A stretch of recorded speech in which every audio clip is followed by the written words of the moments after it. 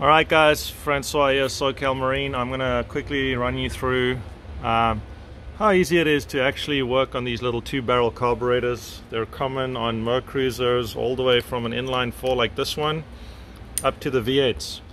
They're excellent carburetors. They get very good um, fuel consumption when they're dialed in right. Uh, they're great. I wouldn't really recommend ever replacing them I've had 45 year old carburetors run excellently. Alright, a few things to notice. This is a heat uh, hot air choke. Alright, it has a hot pipe that goes down there into that little hot air hole. It basically goes through the manifold. Um, and this one's broken off, so we got a fix on that.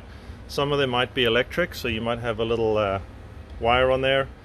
This is just for the uh, vent. This is to draw out the gases and this is the um, fuel line. Sometimes what you'll find is this is a very old style. Sometimes um, this nut will have a tendency to turn before this unscrews so just hold it with a big um, you know adjustable wrench. Uh, and this one seems to be coming off real easy. Oh there's a bit of fuel pressure. Oh that's good. Oh lovely. Me just snug that back down for a second I was not expecting that. I need to get a rag quick. Alright, I've wrapped a rag around here. I got the fuel inlet off. It's got a rag there in case it carries on dripping. Um, this is broken on the hot air choke, so that's fine. Vent side. I got these uh, four corner nuts off. Um, mine are half inch. They might be a different size. They're pretty much um, very similar, but sometimes the throttle cable comes along the top of the motor uh, and they use the same style carburetor all the way into the 2000s, from the 60s, 70s, all the way up, four or five decades. Uh, the new 3.0 LXs use the same thing. I think Mercruiser actually bought the Rochester and rebranded it Mercarb and changed one little aspect right on the front here. I'd say the, the old Rochester and the new Mercarbs are 99% identical except for the uh, air, this gasket, which is kind of stupid. I don't know why they didn't just keep it. It's obviously a patent thing or something. So a lot of the newer ones will have Mercarbs, which is basically just a copy of this, all right? So I've got my nut coming off here. Always try and undo the least amount of nuts. Don't go and take the whole everything apart. Just undo as is minimal possible um, to have the carb completely free. And it pretty much just lifts up like that. Now this is a customer's boat, it's running fine and he just let it sit for a very long time and it's not running well and I'm suspecting the carburetor. Right, so we're going to go to the bench and I'll uh, show you how to open this and just clean it. Alright, I'm just going to cover some quick basics. So as I've mentioned, this is a hot air choke and this will basically just unscrew from the choke housing. I'll just take this to stop it from uh, flying around. And basically, um, you're going to have all these Phillips screws. Sometimes they're Torx uh, along the top. And you're going to have a little bit of linkage on the side here, so just pay attention to that. Uh, you'll see there's like a little clip over here. That'll pop out. You can just use a little pick just to snap that guy out.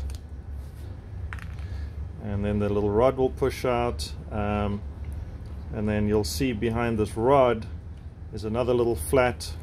Um, so just go around the carburetor, take a note of um, you know all the little linkages take some pictures. I'm going to quickly uh, drain the fuel out of this and we'll be right back.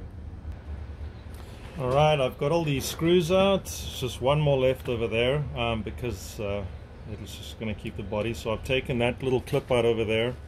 It's going to pop this arm out and it'll just swing around and come out. And just set that on one side. Now what you'll see is there's a big flat over here um, and you can that just unscrews and that'll allow this to kind of come free. And then you can separate the um, the air horn. Just give me one second.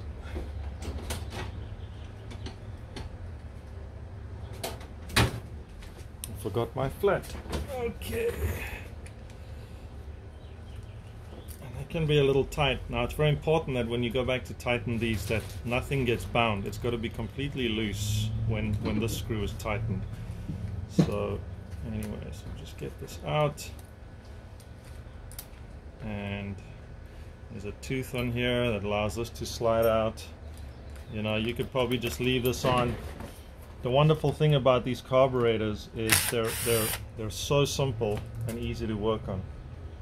All right. Um, for some reason this is not running well. I'm suspecting that there might be water in the fuel. Water tends to go sit at the bottom here and it just makes it idle terribly. Um,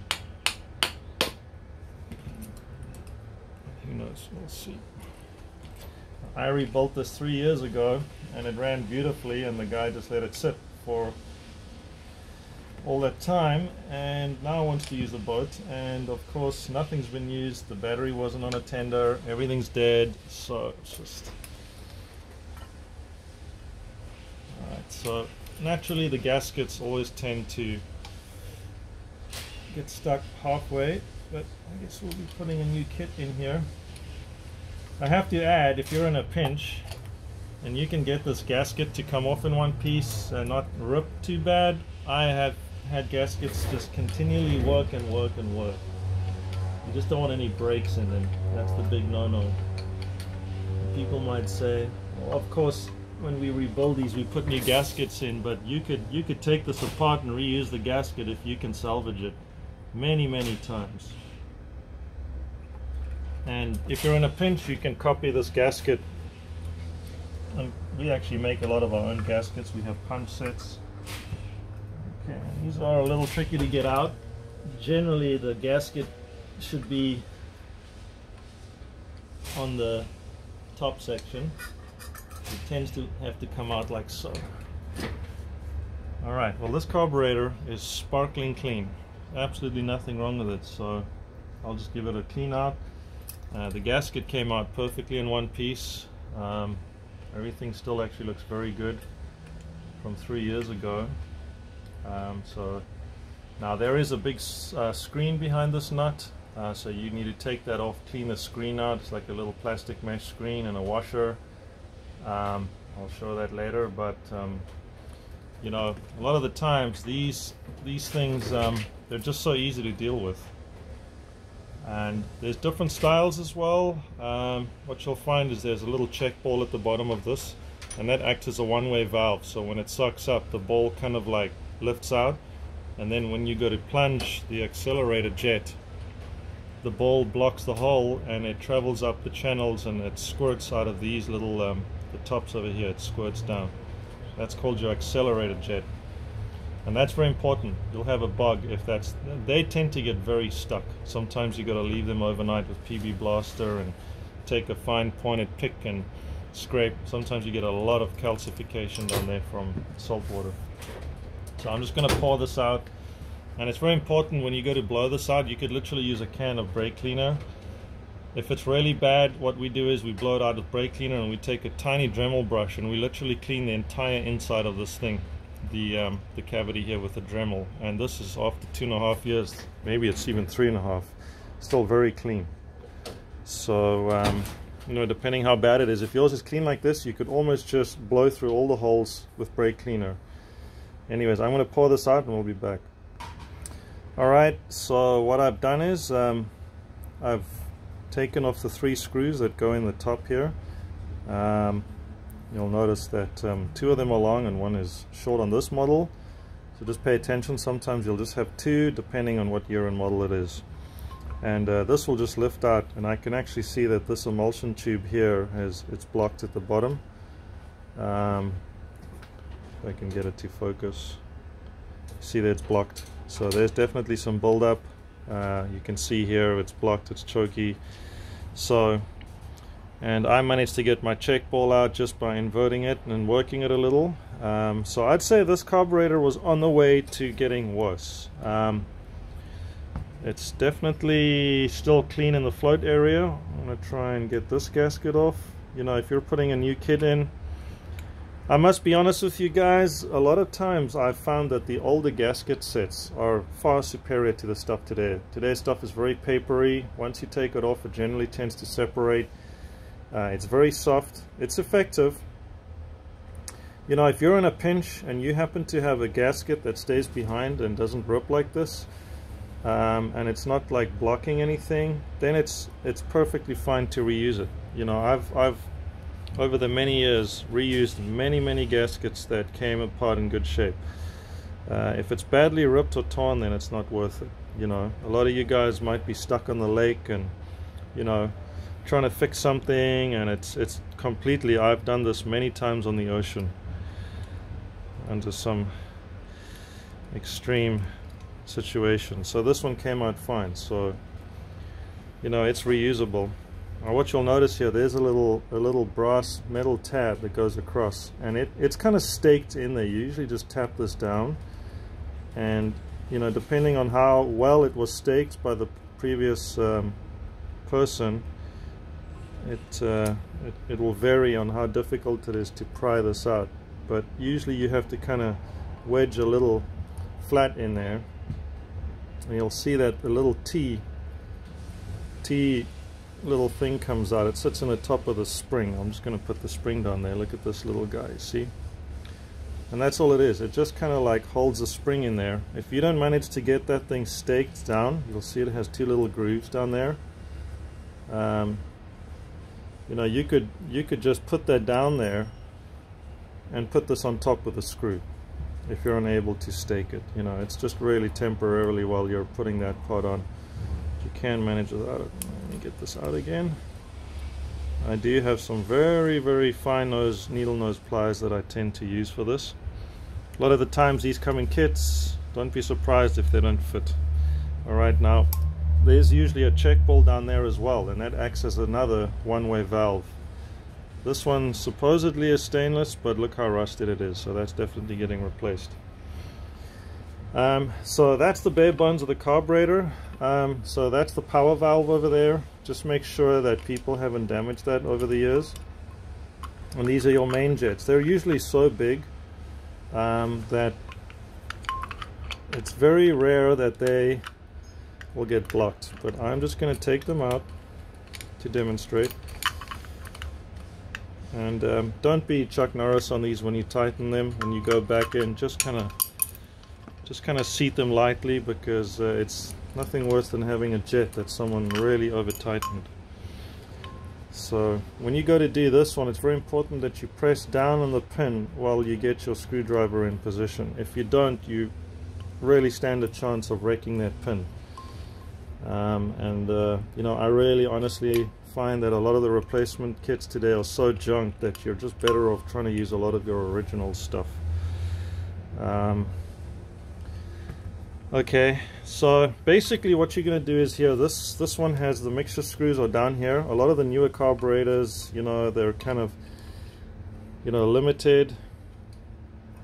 Um, but anyways, what we're going to do is, we're going to, you see I dremeled these a long time ago. You just want to make sure that the tip is nice and shiny. Um, I've had kits where the new screws don't even match the threads. It's really appalling sometimes what you get, but you can turn these little guys out. And once you've got those out and everything else you know honestly this plate can come off as well. Uh, mine just has the single Phillips down here. You can unscrew that.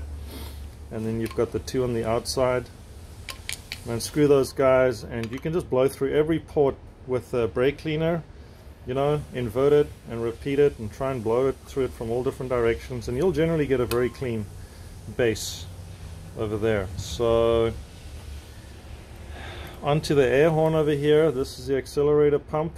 This is the guy that pretty much squirts the fuel down. This has a, um, a little clip on the side. Sometimes it's a tooth which means you've got to expose that little flat in there and unscrew that and then this pulls out and you know it's all kind of like doable. Over here you'll see the float pin. Just pulls out like so. Float comes up. There's the needle and uh, you know the rubber tip needles really take a long time to fail in my opinion. It's the old brass ones that were notorious for wear. But these rubber tip things you can usually just wipe them off like this. And honestly seen very few of these actually leak.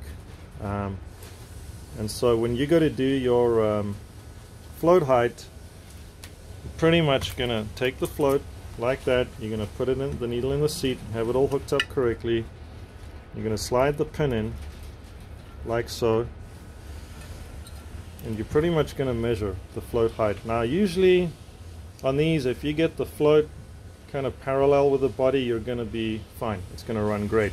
You just don't want the float level to be like way off which would be something like that or completely sunken in. Now remember this is upside down. So if this is low you're going to have very little fuel in the float bowl section.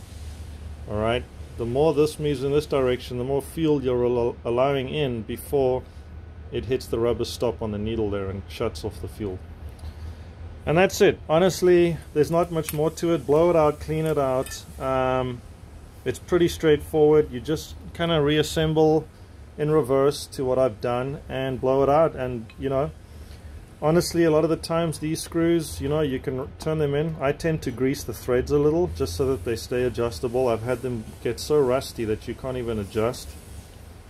Um, just make sure the tips are clean and one and three quarters turns out on each side. So you back it all the way in till it seats lightly and you turn it out one and three quarter. And you're almost guaranteed that it's going to run perfectly. I'm not really going to cover the assembly because it's just a reversal of everything we've done. Um, you know you could just pretty much work your way backwards. Um, I'm going to show you what I use on these. One second.